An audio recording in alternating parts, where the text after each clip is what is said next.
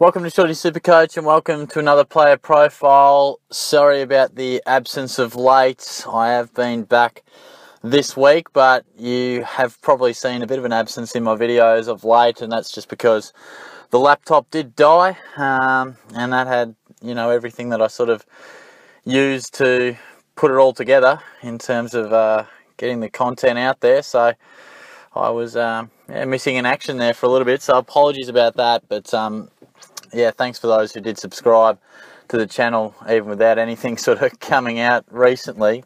And for those that I know will be tuning in now and, and sticking around for the long haul um, it was a bit annoying you know obviously probably a couple of weeks there where I couldn't get much out. Um, by the time I got around to getting a new one and installing and blah blah blah all the stuff you've got to do and and working and that just made it a bit tricky. But um, anyway, we're back now, and I'm looking forward to yeah really getting stuck into it and pumping out plenty of content. And a mate of mine uh, requested this one, part of the Supercoach HQ team, um, Josh there. So thanks for that one, mate. Callum Mills, I wanted to discuss. Um, I had a look at Wingard the other day, and and this fella, you know, trends across a similar line. You know, different, but you know, certainly a, a young prodigy that a lot of people had massive hopes for. His career is, you know, definitely in the earlier stages than Wingard, but probably has equal amount of promise in terms of the 2019 season and similarly priced, 50 or 60k between them,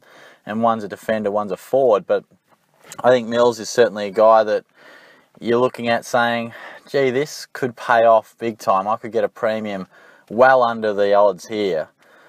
Or it could be that age old mistake where we try to predict that old breakout contender and it just doesn't happen because we know Mills is going to be a star at some point. There's no doubt about it. Um, you know, he's going to average big numbers at some point in his, his career, but is that going to be 2019? That's all we really care about at the minute. So, in terms of the discussion, in terms of the numbers, last year you really can't look too much at the numbers because he broke his foot. I think playing NFL with his mates. I think just throwing a pill around, um, American football style. So, sort of unique way to rule yourself out of the season, but it nonetheless was his highest averaging season, 79, off the back of a 73.3 in 2017 and 77.2 in 2016. And a lot of talk when he first came onto the scene about how he was a cool and composed, great in traffic and around the stoppages midfield type.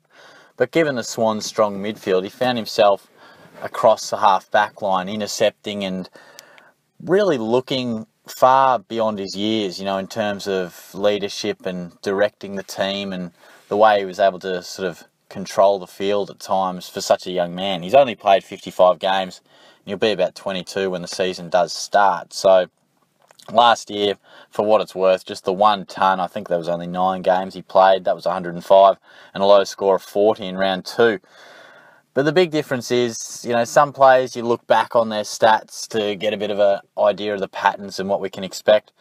But this will be a new chapter for Mills because it looks all but certain that he's going to find himself much more predominantly through the midfield. So while his stats of the mid to high 70s in terms of the last three years look promising.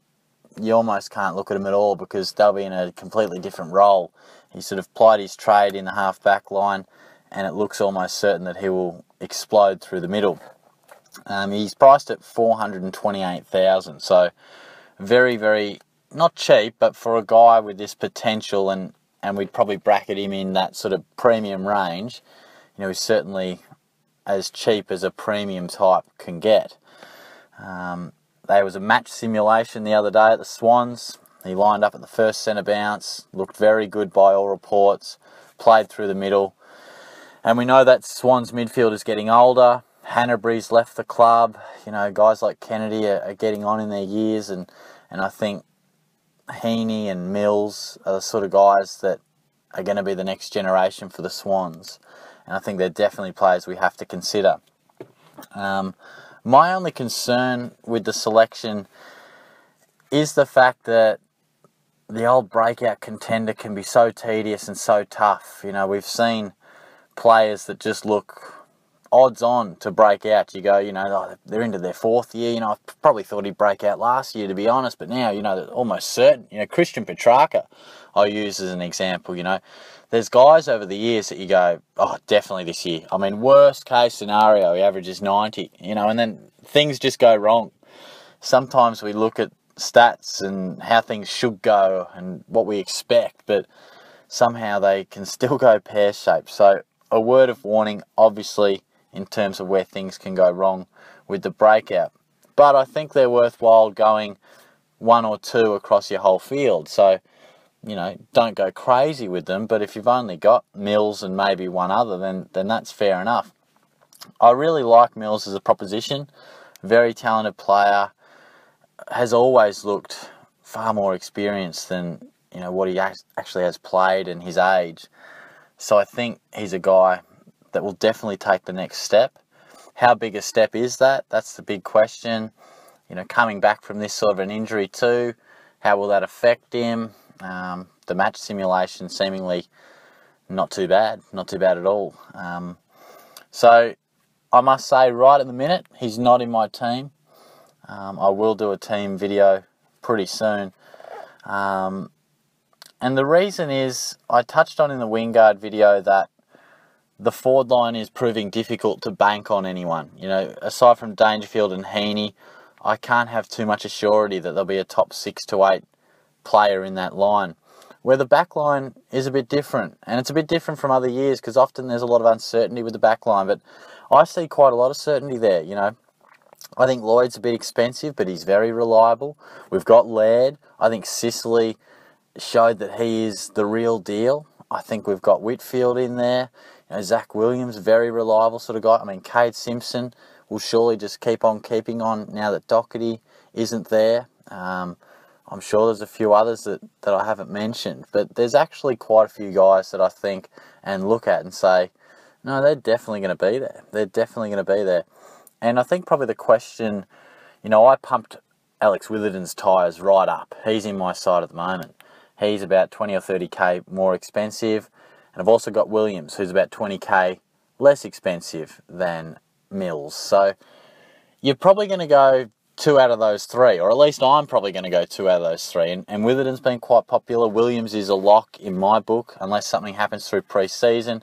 He's shown that he's an exciting player to rebound out of that GWS back line. So I think he's a must. Um, but it's hard to argue Mills and what we expect him to do.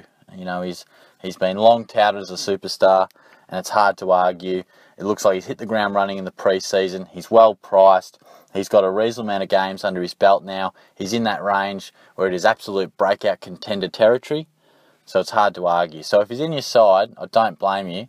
Um, he's certainly in the mix for me, but I would like to just see a little bit of encouragement through the preseason and just really get a good glimpse of him with my own eyes and, and see how he's looking because I think he's the sort of guy that might be able to save you, you know, 80 to 100k in terms of um, going down from a premium to him, but he might be able to produce the same numbers. So I think whenever you can get a guy under 450 that could average high 90s, certainly worth considering. So um, yeah, give me your thoughts on Mills and whether he's in your side or not. Let me know what you think, and um, certainly flick us a comment in terms of any players you would like me to profile because I do want to get through a few of those and, and do a bit of position stuff too. So if you've got anyone in mind, certainly comment away and um, I'll uh, certainly read through those and, and hopefully get to yours at some point time permitting. But um, yeah, good to be back. I'll certainly um, check in soon and have a video coming out soon. So be sure to check into that and I'll, uh, I'll be in touch. Cheers.